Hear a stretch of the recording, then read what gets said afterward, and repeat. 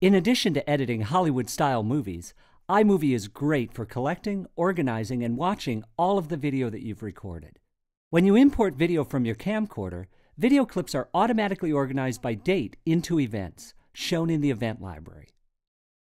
When you select an event, its video is displayed as a film strip on the right in the event browser. You can quickly skim through your video and find the moment that you're looking for just by moving the pointer over a film strip. As you skim your video, you can view it in the viewer. To play video from the pointer's location, just press the spacebar on your keyboard. To pause, press the spacebar again. If you want to view your video full screen, simply click the Play Full Screen button.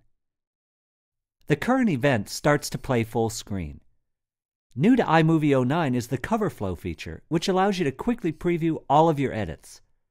You can skip through all your videos until you find a section you like, then press the spacebar to play. When you're done, just hit the escape key on your keyboard.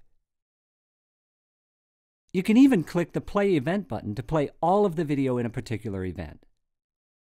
Keeping your events organized helps you keep track of your video memories, and you can reorganize your events however you like.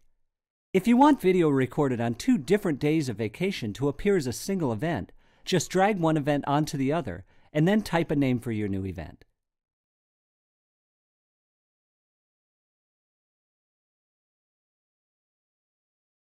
To split an event into two, first click the clip that you want to be the start of the second event. Then choose File, Split Event before selected clip. To rename an event, double-click it and type a new name. With iMovie, Enjoying your video memories and keeping them organized is quick and easy.